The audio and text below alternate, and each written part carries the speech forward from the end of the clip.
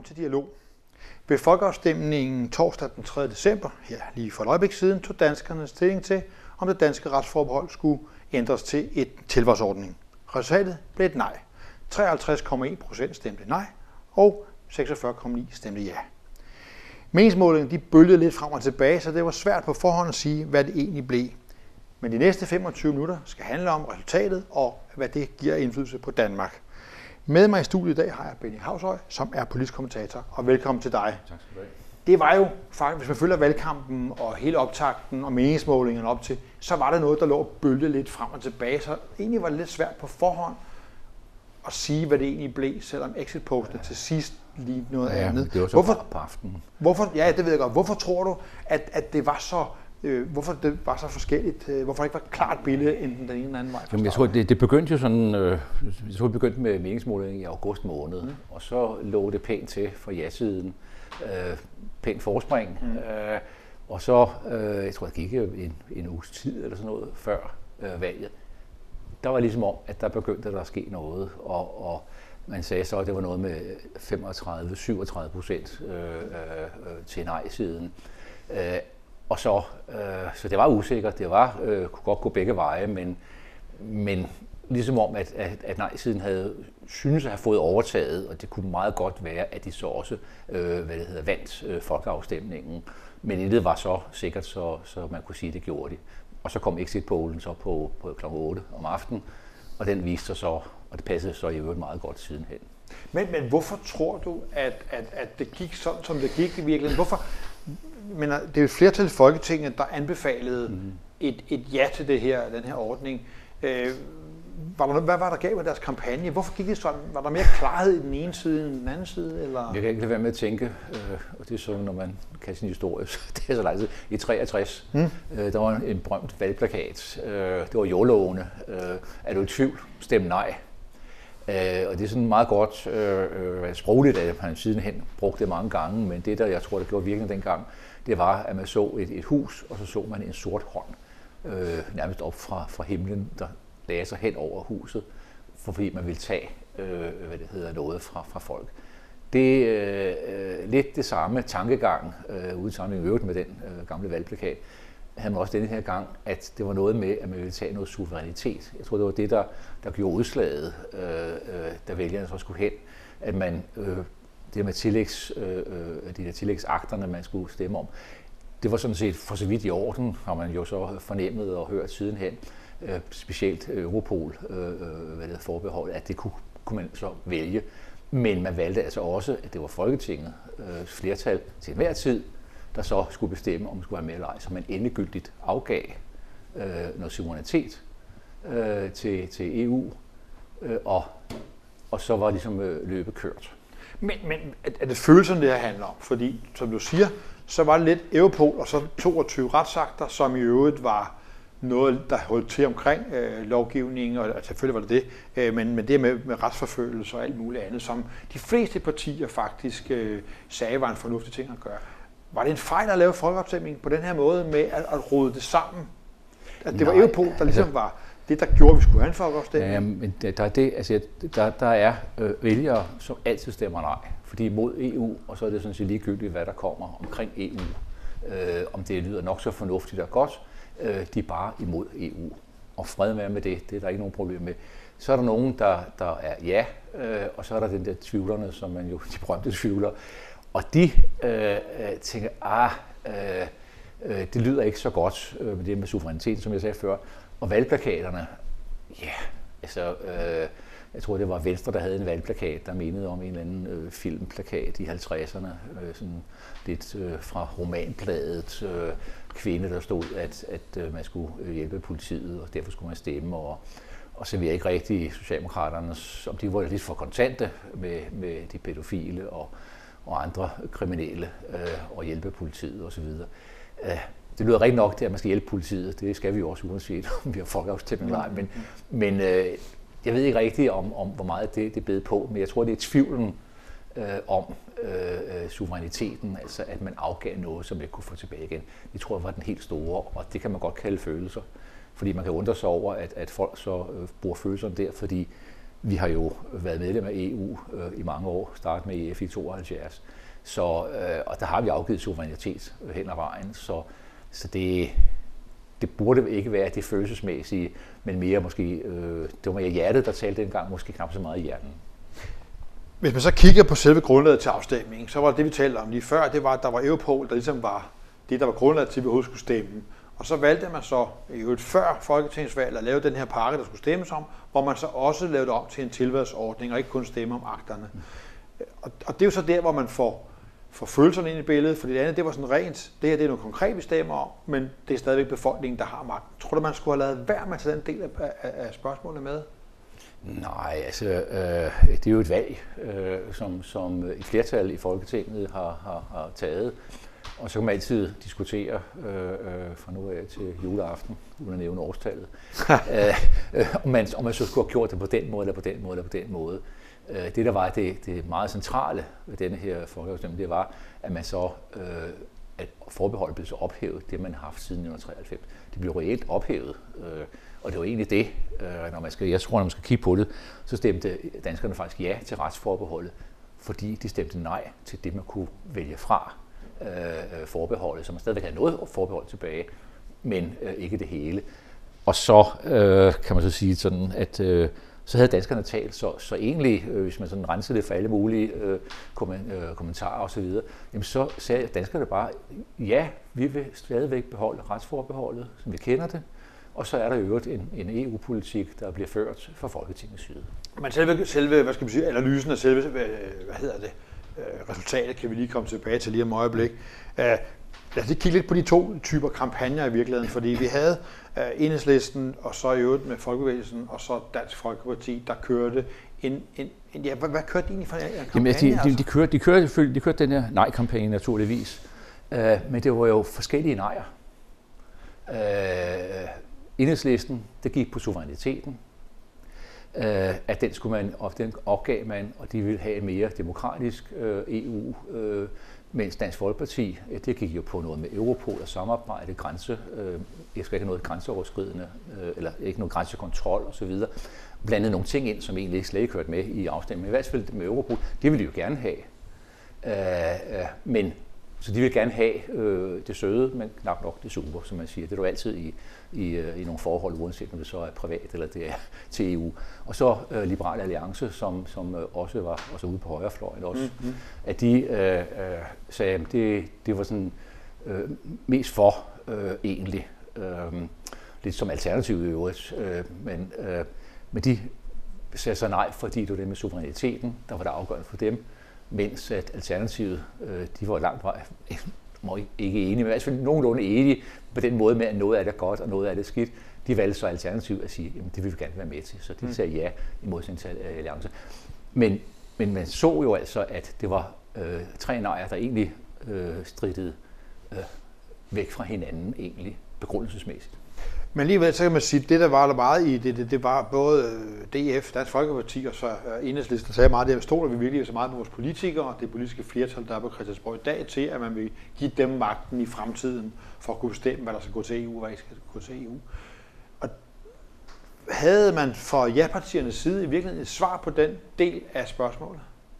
Uh, ja, altså man, man havde faktisk, øh, synes jeg selv, det fornuftige svar at øh, faktisk øh, øh, forbeholdet fra 1993, der sagde det, at hvis man skulle ændre på det, øh, jamen så skulle der folkeafstemning til. Og det var faktisk det, vi stod i. Vi stod faktisk over for afstemning omkring retsforbeholdet. Mm. Noget af det skulle vi tage væk. Øh, samtidig med, at, at øh, det var så vist sig, at, at Folketinget faktisk kunne have, have afskaffet øh, øh, forsvarsforbeholdet øh, uden dekadar, altså det vil sige uden der var øh, noget galt i det, mm. øh, juridisk og grundlovsmæssigt osv. Det er det ikke gjort, for de har lovet, øh, at der skulle være en folkeafstemning om det, når man kom så langt. Mm. Øh, og så kan man sige, at det, der så sker så nok, øh, det er, at jeg ved ikke, hvor mange år, at øh, brugsvognsforhandlerne og journalister og, og politikere har slås om, hvem der skulle ligge sidst, med hensyn til, hvem man har tillid til. Og, og denne her gang, øh, så var det altså politikere, der lå bagerst mm. og nederst, og så ved jeg ikke, hvem, om det var journalister eller bogvalgsforhandler, der stod blev nummer næst sidst. Men altså, men det, der var noget af det der med tilliden øh, øh med, med, øh, til, øh, til politikerne, og man kan sige så, øh, for eksempel øh, den sag, der var med Karl Holst, for eksempel. Jeg, øh, altså, øh, det, det tror jeg har været med til, ikke at det skal bestemt ikke Karl Holsts skyld eller noget som helst, men det er sådan nogle ting, som man hører meget om og bliver slået op i, i, i medierne, øh, at det er sådan nogle, ja, så er de nok alle sammen sådan. Og så stemmer man efter det, og siger, at man stoler ikke på dem, øh, og derfor må vi hellere stemme nej. Så i virkeligheden blev det meget den del af det, at vi ved ikke helt, hvad vi skal tro på og stole på, så derfor var der mange, der måske stemte nej. Ja, så svingede den over til nej. Det blev et nej, det har vi sagt også indledningen. 53,1 procent af vælgerne stemte altså imod at lave det her øh, retsforbehold om til en tilvalgsordning, og kun 46,9, det skal give 100 helst jo, øh, stemte så øh, for der var en ret høj valgdeltagelse i virkeligheden, og det er vel egentlig meget godt for demokratiet, at, at der var mange, der ja, stemme. altså det der med højt, det skal vi lige spise øh, lille brød til, fordi jeg tror, det var noget med 75 procent. Eller og i forhold 77. til normale ja, EU-afstemninger? Ja, i forhold til det, men jeg synes, alle vil måle det i forhold til, når man går hen og stemmer øh, til folketingsvalg, fordi øh, det har jo betydning øh, for, altså folketingsvalget har betydning for, hvem der skal regere og så videre, mm, ikke? Mm. Og det kan trække mand af huset noget med, med i hvert fald 80 procent og, og derover gerne. Øh, mens at øh, den her folkeafstemning, den havde jo lige så stor betydning som, som et folketingsvalg, vil jeg mene, fordi man netop afgav noget, mm. noget øh, hvad det, magt fra, fra det mellemstatslige, det vil sige det nationale, til det overstatslige. Øh, og, og det betyder så i EU-samarbejdet, at så er det EU, øh, og det vil sige EU-kommissionen, som så øh, har handlingsretten. Mm. Og den har man så i givet fald demokratisk øh, givet, ved at man har stemt ja til det. Øh, det, øh, ja, Ja, godt nok, men altså alligevel sådan, i forhold til EU i hvert fald, rimelig høj vældeltagelse, mm. i forhold til folketingsvalg og så videre, en lidt lavere. Ja, det kan jo godt have noget sammen med, hvad der egentlig er normalt, det her med, at EU ikke er til, til stede i dagligdagen i virkeligheden meget hen ad vejen. Så blev det jo det her nej, og så begyndte øh, Lars Løkke og alle mulige andre at tolke på, hvad det var for et nej, vi havde fået i virkeligheden. Og du var lidt inde på det i starten. Hvad, hvad kan man egentlig tolke ud af sådan en, en, en afstemning? Ja, altså, min tolkning er sådan forholdsvis enkel. Altså, danskerne stemte ja, stemte ja til at bevare retsforbeholdet. Mm. Uh, og retsforbeholdet, uh, det er så en del af det fire forbehold, som man har i EU-politik, der hedder det fire forbehold, og så den politik, EU-politik, man i øvrigt fører uh, via Folketingets flertal. Det er der, danskerne vil være. Uh, og så kan man altid spekulere som en gal uh, over, Øh, jamen, nogen ved det ene, nogen ved det andet øh, efter sådan en folkeafstemning, fordi der var jo de der 22 retsakter, øh, inklusive Europol, ikke? Og det var den der Europol, der var ligesom nummer et på hitlisten over, hvad man kunne mm, tage. Mm, mm, mm. Og så ligesom om, at man så tror man, at man kan plukke øh, lidt af det bedste, man har øh, på de, af de 22 retsakter, og resten vil man ikke bruge. Men det kan man så ikke bare, fordi danskerne har jo sagt nej til det. Øh, man kan jo ikke sige ja, sådan 80% ja og 20% nej, eller omvendt. Øh, det er et ja eller nej. Det er en samlet pakke simpelthen. Og der er det, jeg mener, at danskerne siger ja til, til bevarelse af den hidtidige EU-politik, inklusive de fire forbehold. Og så er den egentlig ikke længere. Burde ikke være længere. Så lige nu, der står Danmark til i virkeligheden, at det er så i øh, 17, april 17 eller meget det er, det er omkring, at glide ud af Europol, og de der andre 22 rapsakter, der var med, dem kan vi så ikke deltage i. Så gik øh, vores statsminister jo, Lars Løkke, jo i gang med at samle partierne, for at få, finde ud af, hvad kunne han så gøre, fordi Europol ville man have, kunne man så få en, en parallelaftale, eller kunne beholde den på det der, som vi kalder mellemfolk, mellemstatligt mellemstatsligt samarbejde. Og der kalder så partierne sammen. Og hvad kom der egentlig ud af det? Ja, det, var, det strider også i, om ikke i alle retninger, men i flere retninger. Og der var det så tydeligt øh, med, med øh, en af de, de tre, der stemte nej, øh, Enhedslisten, Dansk Folkeparti og, og Liberal Alliance, at de havde forskellige tolkninger af, af øh, nejet. Øh, fordi, øh, som jeg i hvert fald har hørt og forstået på enhedslisten, de vil slet ikke være med til eurosamarbejdet. Det kommer i hvert fald, de vil gerne være med, men hvis, hvis, hvis, hvis, så er der noget med suverænitet, noget med, med retssikkerhed og for en domstol og en dansk domstol osv. Lidt øh, en smule havde det Dansk Folkeparti også, men for dem var det bare vigtigt, at Europol, den del af, af de forbehold, som man havde stemt nej til, øh, at det, øh, det vil man gerne have. Mm. Og når alle siger, at, øh, eller synes, at, at der, øh, altså, det er simpelthen for dårligt øh, af politikerne over for den danske befolkning. De har stemt nej, eller de stemt ja til retsforbeholdet, plus øh, den politik, der er ført. Og så skal man ikke, efter min bedste overbevisning, kan man komme bagefter og sige, at vi vil godt noget af det alligevel, eller så kan vi altid holde en folkeafstemning. Og det kan man selvfølgelig altid. Så opfylder man en masse betingelser med, med, med øh, folkeafstemninger. Men, men øh, det var ikke det, der var meningen med, at man stemte den 3. december. Meningen var ja eller nej. Og hvis det blev ja, så gjorde man sådan. Hvis det blev nej, så gjorde man sådan. Og så skulle man egentlig ikke gøre mere, fordi så måtte vi jo leve med det, for det havde man jo bestemt, øh, folket bestemt. Men nu begynder man altså så at, at, at plukke specielt øh, Europol ud. Men der er også mange andre ting, man kunne have plukket ud. Altså skilsmisser øh, var nemmere. Der er også en hel del på, på erhvervssiden, øh, der gør det nemmere for virksomhederne, hvis de går konkurs. Øh, så kan man tage det som bare et sted, øh, man kan få behandlet kursen, i stedet for at man skal rundt i 27 andre lande, hvis det, hvis det er noget uden for Danmark. Og sådan noget. Der er masser af gode, øh, skal man sige, på den måde gode erhvervsting, øh, i, i, i parken der, øh, de retsakterne.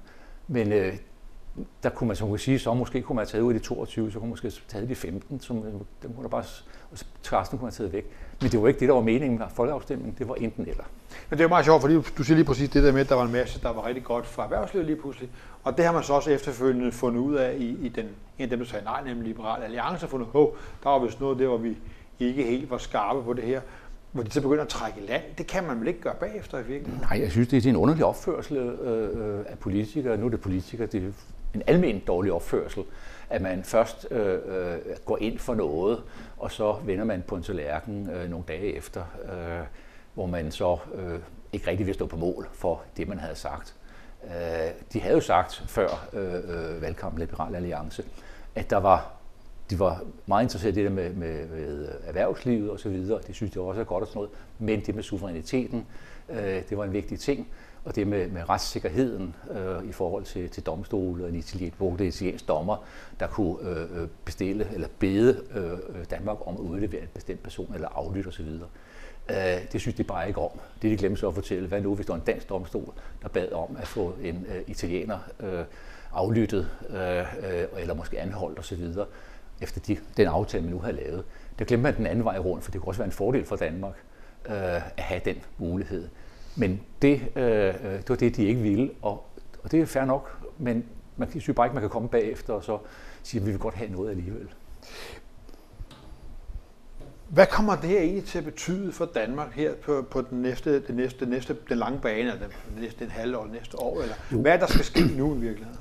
Jo, man skal nu, og det jo, øh, øh, har Lars Løkke haft øh, øh, hvad hedder det, forhandlinger øh, eller samtaler med, med partierne, øh, og så øh, samler han jo op på det, og så er det måske øh, Lars Løkkes, nu gætter jeg, øh, øh, øh håb, at han så ligesom i 93, 293 der, da man stemte nej til Maastricht, man får lavet sådan en bred øh, politisk aftale om, hvordan øh, EU-politikken skulle være. Og det, kunne være meget godt faktisk for Danmark. Øh, men, men det han, han nu skal til, det er at få samlet sammen, få et mandat øh, øh, til at, at tage ned øh, i, i, øh, til Bruxelles og snakke med EU-kommissionens formand og præsidenten, øh, og så finde ud af, hvor står de henne. Fordi øh, vejen øh, frem til en eller anden aftale, parallel aftale, vil det så komme til at hedde, jamen, det går via EU-kommissionen, og, øh, og hvis, hvis de ikke synes, det er nogen god idé, jamen så bliver det ikke, så stopper den der. Og hvis det er en god idé, så kan man øh, snakke sammen, så skal det, og hvis det så ender med, at man øh, bliver enige, ja, så er det så øh, Europaparlamentet, der skal sige øh, ja eller nej.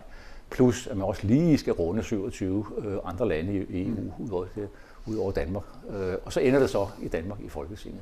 Så er der masser af store øh, kampesten undervejs, som kan gøre, at man ikke øh, får den der parallelaftale, som så vil komme til at hedde. Men hvad kommer det til at betyde for, så for det samarbejde, der er i Folketinget? Altså, den her valgkamp har jo rø- virkelig rusket op i nogle af de modstridninger, der har været. Altså, nogle af de, altså for eksempel Enhedslisten har været meget tæt på arbejde i den, den røde blok, som man kan sige det sådan, og de har virkelig rusket op i det samarbejde ved at være sådan, som de har været. Ligesom at Dansk Folkeparti, som er et kæmpe parti nu, egentlig også har rusket lidt op og ikke været sådan særlig opbakende til, til den regering, de egentlig har været med til at støtte. Jamen, jeg tror, det er sådan mere, der er det mere indrigspolitisk, øh, fordi der er jo et, et, øh, et flertal i Folketinget, der er faktisk 102 mandater, når man har Socialdemokraterne, Venstre, Radikale Venstre, Socialistiske Folkeparti og det konservative Folkeparti. Det var dem, der sagde ja til, til øh, aftalte med mm. EU-politikken. Hvis man så også tager Alternativet med, ja, så, så er det ni, ni mandater mere, øh, og det bliver så, så 111, men i hvert fald mindst 102 ud af 179. Det er et pænt flertal øh, for den politik, der skal føres øh, mens at nej-partierne, Dansk Folkeparti, Enhedslisten og, og eller Liberal Alliance, de har 64 mandater i Folketinget. Altså så er vi tilbage, om ikke ved start, men så er vi tilbage ved, jamen hvad er de politiske realiteter i, i, for, i Folketinget? For det er dem, der bestemmer øh, tingene. Øh, skattelov, sociallov, miljø, øh, you name it. Øh, alle de ting bliver vedtaget med, med, med almindelig flertal. Øh, og nu har man så ved folkeafstemning vedtaget, hvordan øh, Danmarks EU-politik skal være. De fire forbehold, plus det, som øh, Folketinget så er, er enige om øh, i øvrigt. Kan man risikere i virkeligheden, at, at, at der er noget af det her, der kommer til at af på, på, på den finanslov, der er gang i øjeblikket? Nej, det tror jeg ikke, fordi at så, øh, så vil det betyde, at, at så får man ikke nogen af sine øh, indrigspolitiske mærkesager igennem. Altså Dansk Folkeparti, vi ser nu her med, med, med, med flygtningestrømmen, som, som er kommet øh, øh, siden sommeren øh, 15 der, at så øh, øh, jamen der, der er jo lavet forskellige stramninger øh, på det område. Og der øh, er Dansk Folkeparti med, og, og Socialdemokraterne er med, og så er, er de borgerlige også med. Så, så der er øh, lidt på kryds og tværs, øh, øh debatterer man det. og sådan er politik så i øvrigt, når vi så vender tilbage til, til, til hverdagen. Altså når vi har lagt hvad hedder, folkeafstemningen og, og, og omtalen, øh, hvad der skal ske bag os, så handler det om skatteforhold, eller jeg tror ikke skatteforhold, det er modsat, skattenedsættelse øh, i, i, i foråret, der skal komme noget øh, skattereform eller anden art, det har Lars Løkke i hvert fald øh, annonceret. Ikke? Så jeg tror godt, man kommer back to normal. Øh, sidste spørgsmål her inden programmet øh, ender, så ved man jo ifølge paragraf 20 i vores grundlov, der står der, at Folketinget kan vedtage suverænitetsafgivelse med 5 6 dels flertal. Kunne man øh, komme i den situation, at Folketinget fandt 5 6 flertal for at indføre for eksempel Europol, hvis det var svært at komme igennem med den her parallelaftale? Eller er de i virkeligheden nu tvunget til at lave en, en, en folkeafstemning, hvis de skal det igennem? Jeg må sige, hvis man tager bare, øh, er der 5 6 flertal, kan det samles, det 150 medlemmer mm. i øvrigt af Folketinget. Kan man samle det, så er det juridisk og ifølge grundloven rigtigt. Og sådan er det. Så er der ikke nogen, der kommer og sige noget. Men, hvor bliver de retsforbeholdet af? Det, som danskerne har bestemt siden 1993, og hvor man siger, at det respekterer vi, og det vil vi sende til folkeafstemning, hvis, det er, hvis der er noget af det, der skal hvad det hedder, øh, laves om. Og det var det, vi havde så, så vi tilbage ved start, ja. 3. december. Og der sagde danskerne ja til forbeholdene, alle fire forbehold, og også ja til den politik, der øvrigt uden for forbeholdene bliver ført øh, af, den, af den danske øh, folketing. Så det bliver fald politisk meget svært øh, at for, for eksempel det 150 medlemmer af Folketinget, og så er jeg synes også ligegyldigt, om det er 179 alle sammen, så bliver det meget svært for, for Folketinget at vedtage det, øh, fordi det er direkte i modstrid med det, alle politikere har sagt, vi skal have en folkeafstemning, hvis vi skal ophæve hele retsforbeholdet, eller bare noget af det. Det blev de sidste ord, og det bliver rigtig spændende at følge lige præcis det arbejde, øh, som, som nu øh, regeringen skal til at lave med, øh, med EU og parlamentet osv. for at få løst de her øh, problemer, der har været. Jeg vil godt sige tak til Ben Havshøj, politisk kommentator og til seerne. Tak for nu og på gensyn her på kanalen.